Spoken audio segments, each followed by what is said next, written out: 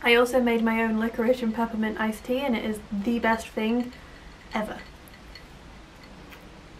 That's just amazing. That's amazing.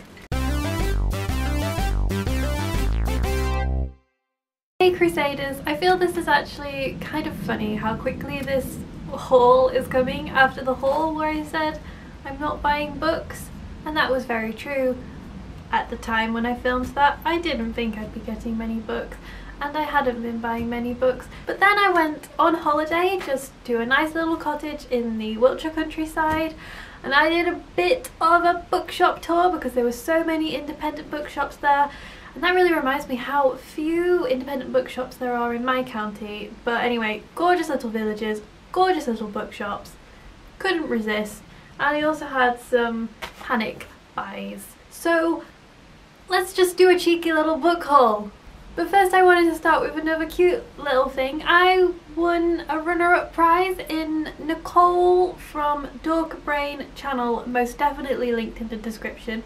I won her booktube anniversary giveaway, well a runner-up prize but that was what I wanted the most and I would by the way say that Nicole does absolutely excellent videos and I really love her and also this her Instagram, her Instagram pictures are amazing. She gets such amazing backgrounds to complement her books when she takes pictures of. She reads a lot of fantasy, so if you want to, she's in the description. Well, she's not actually in the description.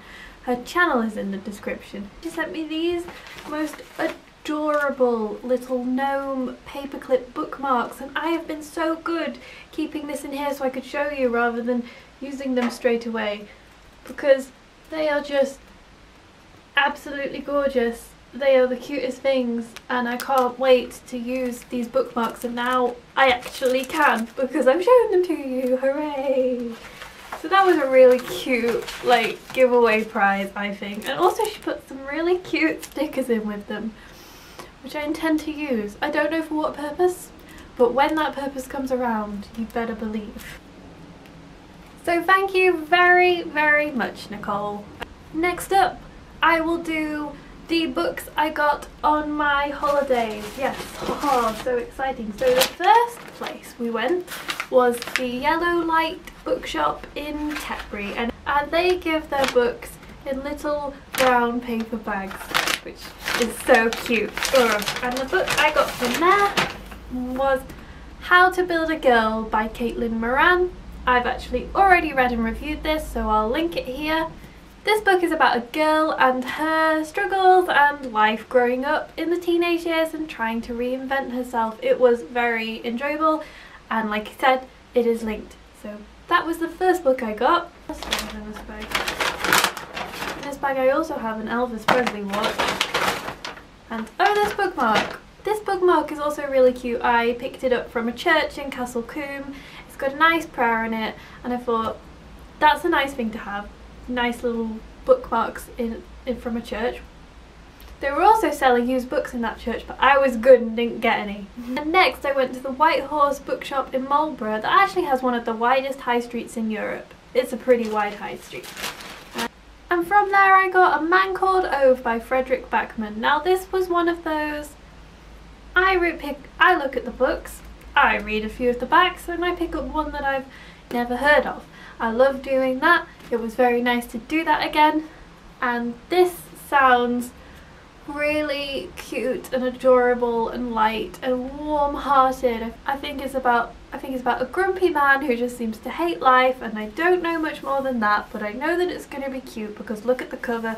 It's actually a Swedish book and um, it's got a cat on it so how could it not be good?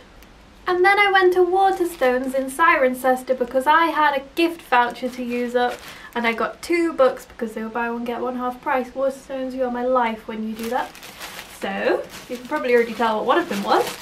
The first one, The Bees by Lawline, Lawline, Layline, Layline?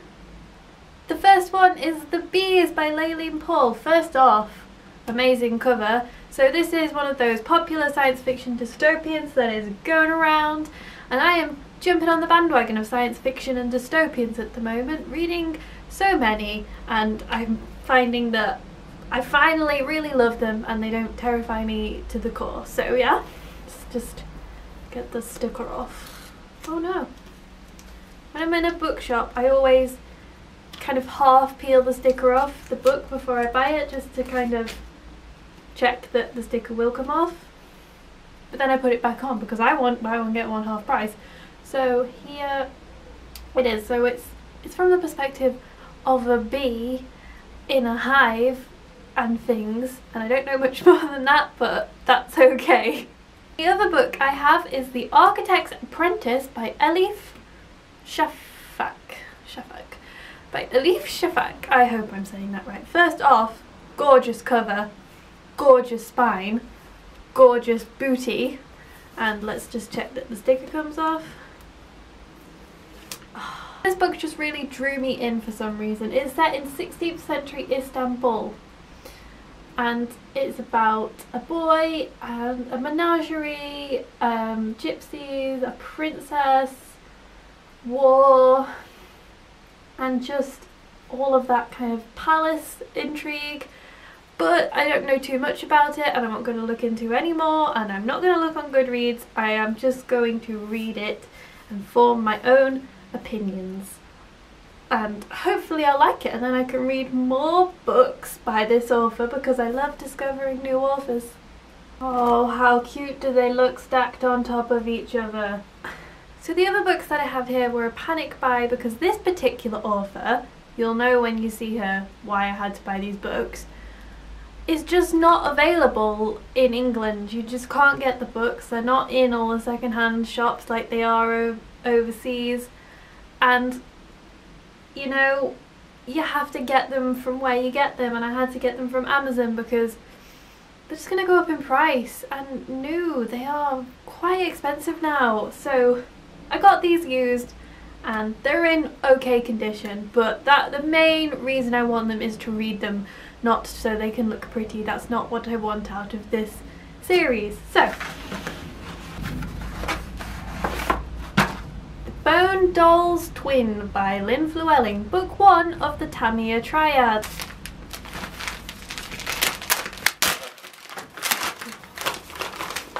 Oh,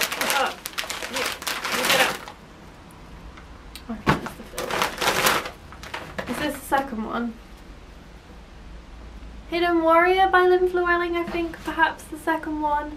And The Oracle's Queen by Lynn Flewelling, I think the third one. I'm really trying hard not to look at the back of these. Um, so I actually think these covers are quite cute. I think they're the newer covers, although still not like dead new. Um, but whatever. And the colours are nice. and stop, I'm not looking at the back. This one is a little beaten up and this one seems to have some kind of coffee and tea stain on it but you know what they were all only a penny each so I don't really care. This one is in good condition. So very good. We now have the other series by Lynn Flewelling that we can read when the Nightrunners is very nearly over. so these were the books that I had to haul for you today so that we're all up to date. I've gone on a little bit of a book buying binge but I don't think it was too bad and I think three of these books are quite understandable. Two of them were bought with gift vouchers and two of them supported independent bookshops. Boom! oh, don't we just love explaining away our book buying? But yeah. I'm doing really well. I'm reading more books than I'm buying by far. So we're happy.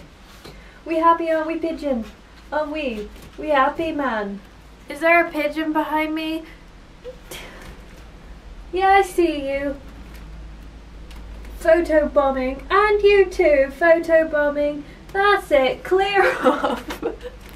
I didn't know they could hear me. Thank you for watching my haul. Please comment below if you've read any of these books or plan to read any of these books or want me to review any of these books and then I can get to that book sooner because I want to read all of these right now and I'm not particularly bothered in which order. And also just generally comment below with what you're reading and just life. Let's talk. Let's talk. Until next time, Look in the shadows, guys. Oh, why am I waving? So